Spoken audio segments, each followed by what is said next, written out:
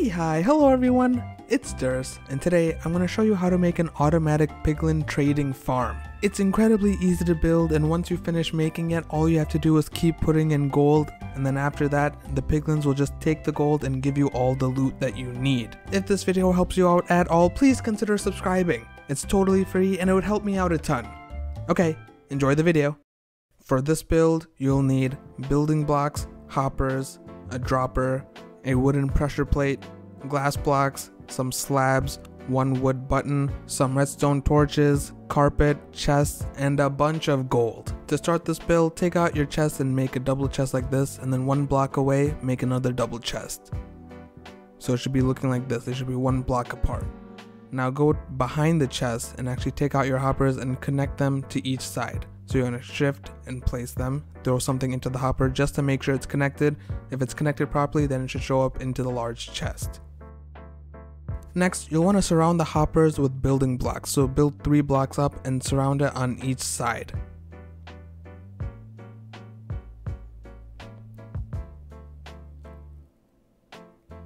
In the end, after you build it, it should be looking like this.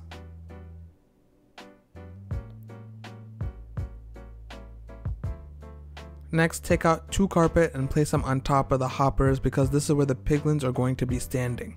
If you throw some stuff at the hopper even with the carpet, the item should still fall into the hopper and go to the chest. Next, take glass blocks and place them like this so you actually build the enclosure.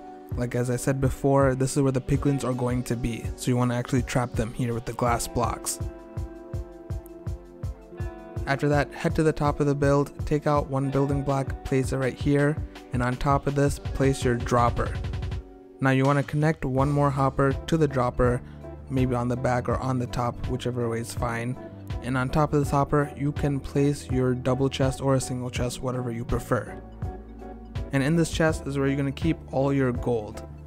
Hopefully you have a gold farm because you're going to need plenty of gold. If not, then you better start mining.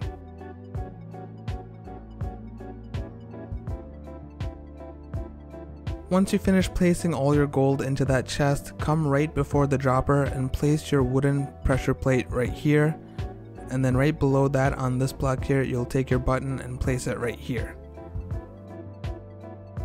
Now come to the back of the build, break this temporary block here, and right here we'll place our redstone torch. And we are now ready to bring in the piglins, but right before that, we need to block this pressure plate because we don't want them to step on it. So just place a glass block right on top of it, so then they won't be able to hit it at all. Now to bring in the piglins, you'll want to make a little staircase up to the top on both sides so it'll be easier for you to bring them in. And honestly, it's a little bit difficult to do on survival, so you'll maybe want to get mine carts with rails or maybe some boats and take them up. But luckily for me, I'm just to spawn them in because I'm in creative, you know. Now you could bring in as many piglin as you want into these enclosures, but I would recommend 2 to 3 as that's the ideal amount of loot for each gold that drops. Also, if you don't want your piglins to despawn because getting them in here is a huge hassle, I'm sure. I wouldn't actually know because I'm in creative. But uh, if you want them to stay and not despawn, you'll want to put some armor on them or give them name tags. Next up, we'll want to put a solid block on top of their heads over here, but we can't do that because their heads are kind of protruding up above. So we want to place some blocks like this, place a piston and a redstone torch, and once you do that, the piston will move this glass block over their heads so now they're kind of like stuck in there. Now we'll do the same thing on the other side as well.